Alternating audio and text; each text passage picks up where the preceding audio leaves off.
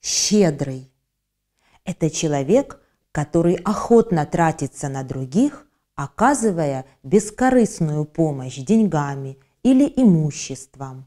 Человек, который ничего не жалеет для других, помогает в беде. Жадный – человек, стремящийся получить побольше, ненасытный в желании приобретать и обогащаться. Щедрый – это положительная черта характера, жадный – отрицательная.